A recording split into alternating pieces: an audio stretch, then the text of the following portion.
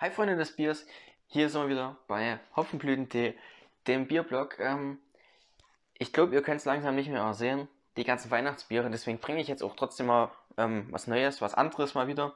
Beziehungsweise neu ist es auch nicht. Und zwar das Elvis Juice von Brewdog. Ja, wie das schmeckt, finden wir zusammen raus. Ich wünsche euch viel Spaß beim Video.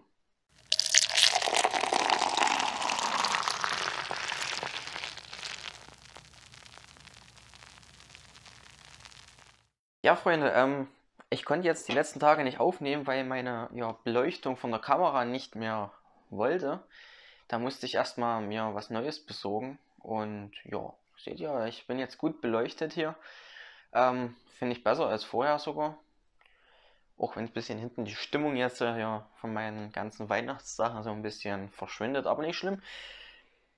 Wir kommen zum Bier.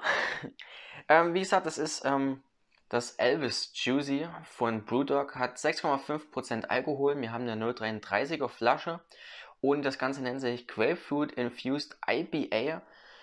Ähm, ja, sieht schick aus, muss ich sagen. Also ich finde die Flasche sehr schick designt. Das Logo hier oben ist der Brewdog drauf hier. Genau, da haben wir. Ähm, es steht noch da. Brewdog Elvis Juice, der absolute King in einer Welt von Möchtegerns. Elvis Juice ist ein IPA wie kein anderes, denn hier lautet das Motto alle Scheinwerfer auf die Grapefruit. Dieses fruchtige Overkill wird eure Sinne verwöhnen. Zusätzlich zu seiner Spritzigkeit kommen intensive Aromahopfen auf die Bühne. In Bekleidung von Orangen- und Piniennoten steht dieses IPA auf einer Basis aus leckeren Karamals. Elvis Juice is ready to rock'n'roll. Ja, das klingt schon mal gut, würde ich sagen. Ne? Also, da wird nicht gegeizt mit hier Worten. Also, das Bier scheint ganz schön, oder beziehungsweise Bulldogs scheint viel vom Bier zu halten. Ähm, Hefe, Hopfen, Gerstenmalz, getrocknete Orangenschalen, getrocknete Grapefruitschalen, natürliches Grapefruit-Aroma, natürliches Blutorangen-Extrakt. Also ganz schön was Sachen drin im Bier. Ja, und es riecht schon mal angenehm hier. So, schenken wir mal ein. So. Das sieht so schon mal super aus. So, also wir haben ja auf jeden Fall ein trübes Bier.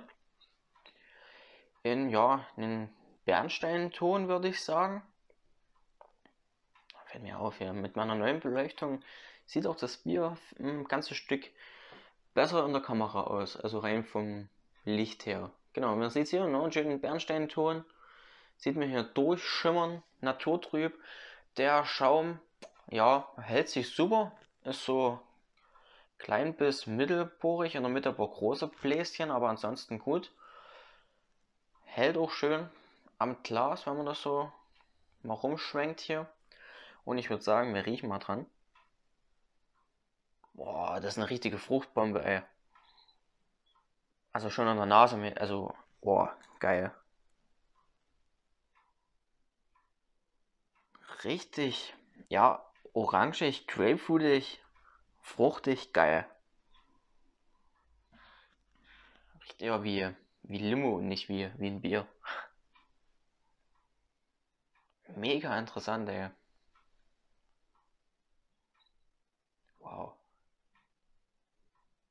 Richtig intensiv. Also richtig tolles, intensives Aroma. Toll. Gefällt mir jetzt schon. Deswegen, ja, Prost.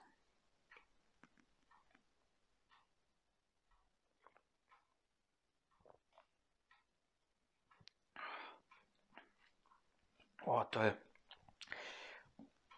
Jetzt habe ich leider nicht ähm, geguckt, was das Bier für wie viel Bittereinheiten hat.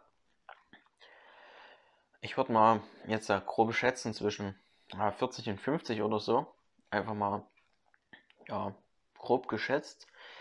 Ähm, zum Geschmack auf den ersten Schluck auf richtig fruchtig, also richtig, ja, richtig grapefruitig, also wie da steht, aber leicht, auch so eine, ja, so ein typischer Grapefruit-Geschmack, noch diese bittere, die typisch grapefruitig ist. Ähm, sehr lecker.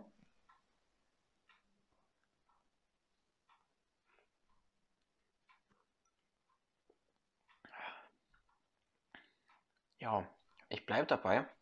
Es ist sehr grapefruitig. Am Anfang richtig fruchtig und dann kommt so eine Bitterness, aber halt nicht wie bei den meisten IPAs, sondern es ist so eine Bitterness mit, mit einem richtig, ähm, ja, tollen Grapefruit-Aroma. Also Bombe.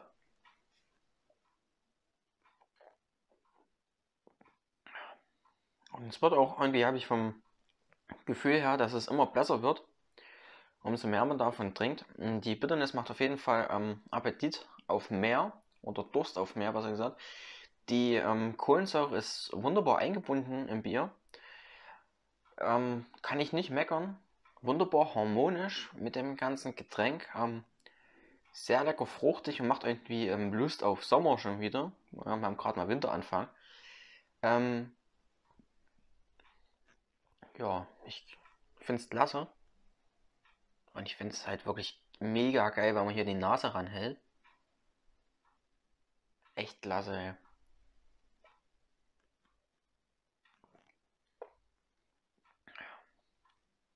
Auch ein toller, was jetzt zuerst so richtig rauskommt, so ein toller Malzkörper, finde ich.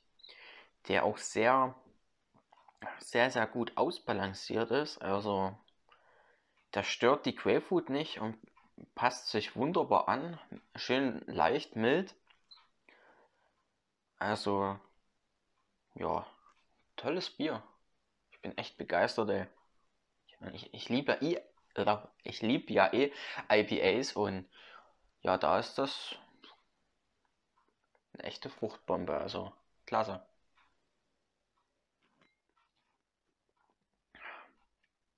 Ist auch eins der ähm, Bulldog-Biere, die ich ähm, noch nicht getrunken habe bis jetzt.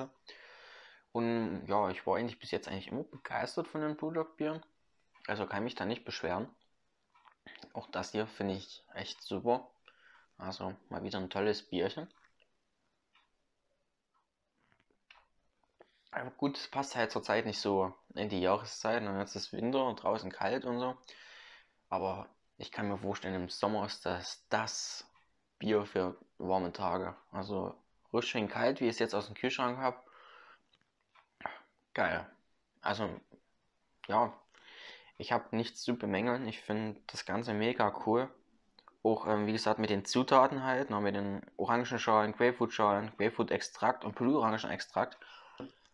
Das Bier ist richtig, ja, richtig grapefruitig. Also, ja, tolles Bier. 5 von 5 Punkten. Und ja, das soll es für heute gewesen sein. Ähm,